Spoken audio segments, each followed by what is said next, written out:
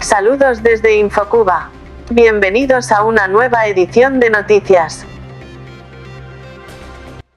Se están matando de hambre. Así es la comida que reciben los reclusos en la prisión de jóvenes de Occidente. Muchos son los menores de edad que se encuentran en la prisión de jóvenes de Occidente sin haber cometido ningún delito. La mayoría de ellos secuestrados tras las protestas del 11J, y aparte de eso, tienen que lidiar con el hambre a la que son sometidos por falta de comida o, en su defecto, el pésimo estado de esta. El activista cubano Marcel Valdés, a través de su cuenta de Facebook, compartió imágenes del alimento que reciben los reos en dicho recinto penitenciario, a quienes no les queda de otra que quejarse del hambre, y es que, ciertamente, el aspecto de la comida cuando la dan deja mucho que desear, y antes de ingerirla debe pensarse dos veces, ya que podría causar una seria enfermedad que, como de costumbre, no le importará en lo absoluto a las autoridades carcelarias, por si fuera poco, trascendió que las porciones de comida que reparten en el lugar son escasas, ya que los cínicos guardias se la roban para darle de comer a los animales, Cabe destacar que esta situación con la comida dentro de la prisión de jóvenes de Occidente estaría afectando a todos los reclusos, pero para nadie es un secreto que, en el caso de los presos políticos, todo se agrava. Es importante recalcar que los jóvenes presos políticos dentro de ese penal no solamente deben padecer el hambre, sino que también tienen que aguantar crueles maltratos y humillaciones,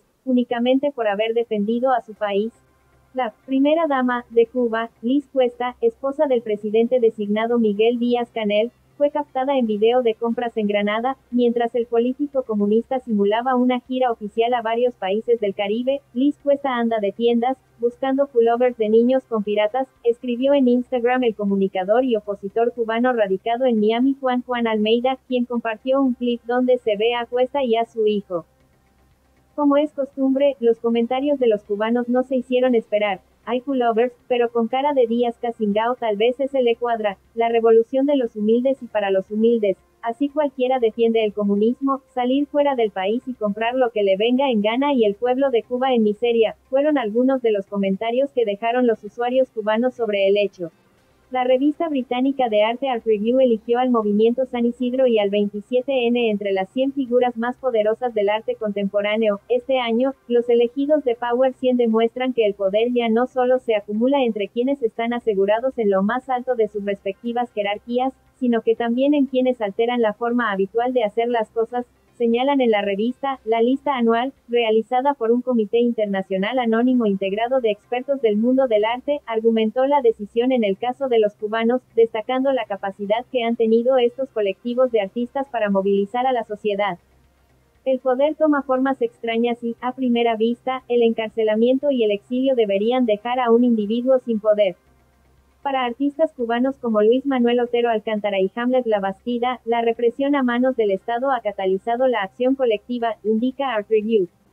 El Observatorio de Libertad Académica denunció en su página oficial al represor de la libertad académica, Rolando González Patricio, un funcionario del régimen cubano que defendió la censura en la isla durante un debate realizado en la Asamblea Parlamentaria Euro-Latinoamericana, González Patricio validó la manipulación de la información por parte del régimen de La Habana, alegando la necesidad de protección a los ciudadanos cubanos, declaró el Observatorio de Libertad Académica, una organización que documenta y denuncia las múltiples violaciones de derechos humanos en Cuba contra estudiantes y profesores al interior de las universidades, con un controversial currículum de violaciones a la libertad académica y al derecho a la libre educación, es claramente una burla a la democracia que González Patricio ejerza como secretario general del Parlamento Latinoamericano y del Caribe desde donde defiende los mecanismos arbitrarios del régimen cubano a tan altos niveles como el Parlamento Europeo advirtió la ONG. Un cartel alusivo al asesino Che Guevara, que fuera presentado en la Feria Art Basel de Miami, fue publicado por la televisión cubana. El pasado domingo la activista Ana Olema habría participado con este texto en el evento junto a otro grupo de artistas cubanas del exilio. El texto en inglés,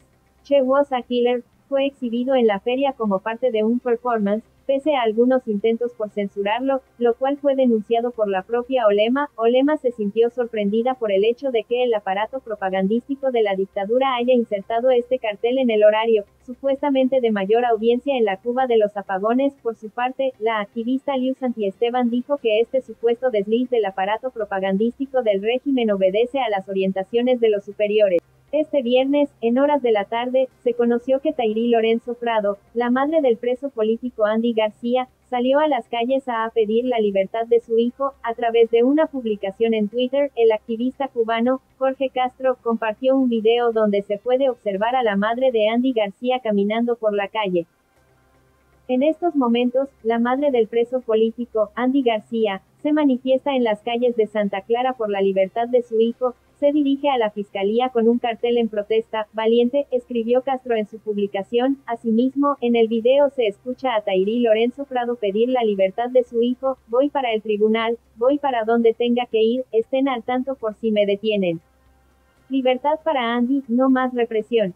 Abajo la dictadura. Libertad para mi hijo, los delincuentes son los que están en la calle robando y ustedes amenazando de muerte a mi hijo, me da lo mismo, me pueden llevar presa, son algunas de las frases de la madre desesperada.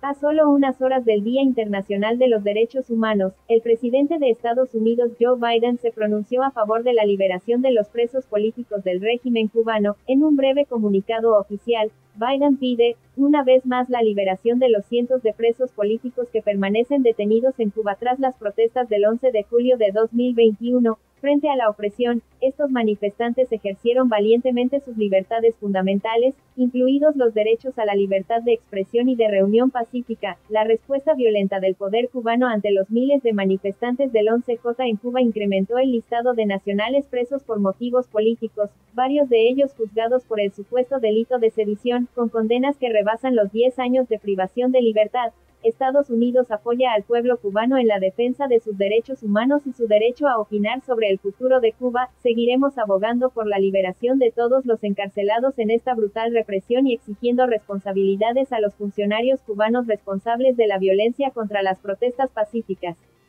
Bajo la consigna, el exilio se respeta, los cubanos se sumaron a la caravana convocada para este viernes 9 de diciembre por el presentador cubano Alex Otaola en contra de la presentación del libro, Cuban Privilege, de la profesora Susan S. Castine de la Universidad de Boston, por ser catalogado como una ofensa para los exiliados cubanos, la manifestación pacífica, que fue todo un éxito, se llevó a cabo alrededor de la sede de la Universidad Internacional de Florida, Pew, en Miami, lugar en donde la mencionada escritora hizo la presentación de su obra escrita. Otaola apuntó que la comunidad cubana no se quedará callada ante este tipo de ataques que vienen impulsados por sectores de izquierda, y la caravana de este viernes es muestra de ello. Vamos a demostrar como exilio, como mayoría que no estamos de acuerdo con este tipo de ataques en contra de nuestra comunidad.